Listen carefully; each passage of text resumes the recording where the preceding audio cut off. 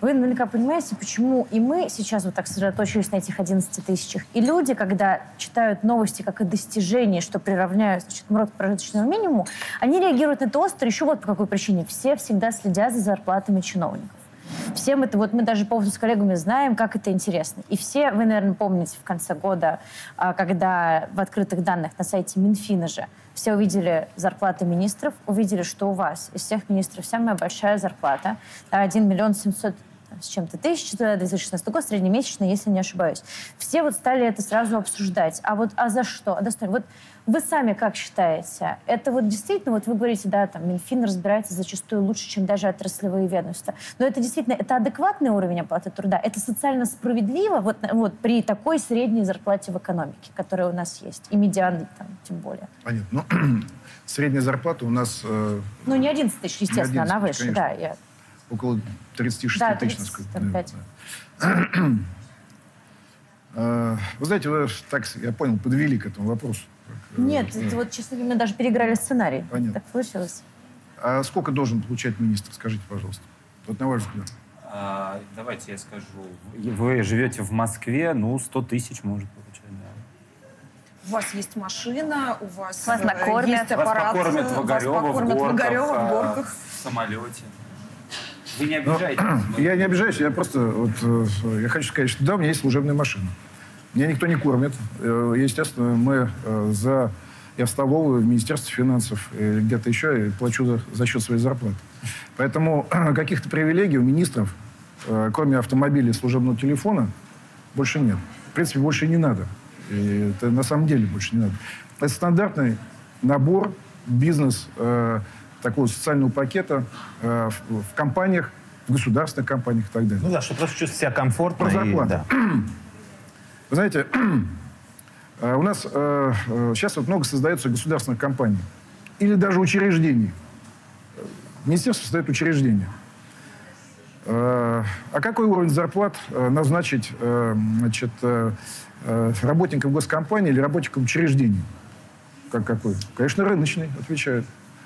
Э, мы Минфин спрашиваем, а почему рыночный? Ну как же, мы должны привлечь туда высококлассных людей, специалистов.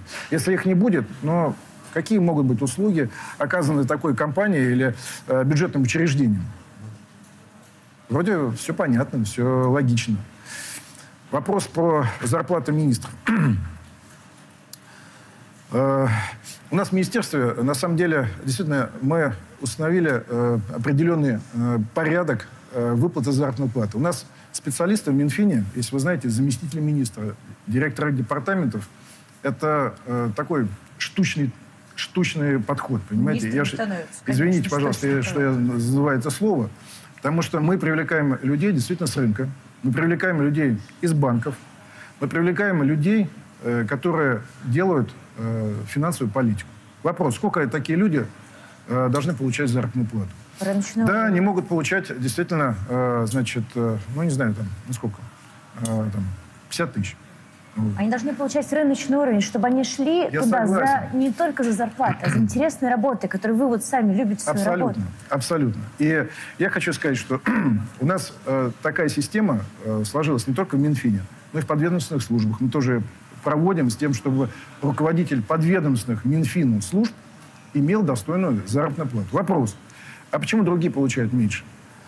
Э, Отвечаю следующее, что, кстати говоря, еще э, в решениях э, где-то шестилетней давности значит, есть такие решения о том, что нужно выводить уровень зарплаты государственного служащего на конкурентные параметры. На конкурентные параметры. Поэтому, да, безусловно, я хочу сказать, в Минфине у нас зарплаты неплохие, высокие.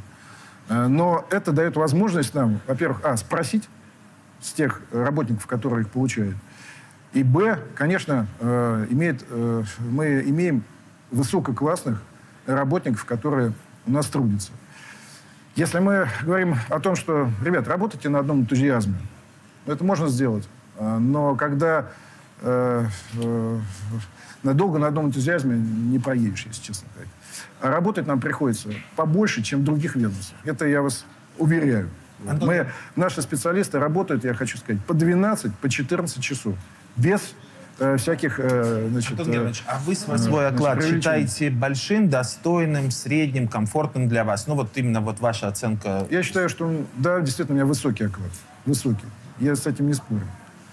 Вот. Но Это э, соответствует уровню вашего у нас, э, занятости. еще раз повторюсь, что система оплаты труда, система мотивации сотрудников в Минфине в рамках общего оплаты, фонда оплаты труда, который есть в Минфине, Мин, Минэкономике, там, в Минтруде и так далее, э, у нас общий подход к определению фонда оплаты труда. Но система мотивации в Минфине, она э, несколько отличается от этого.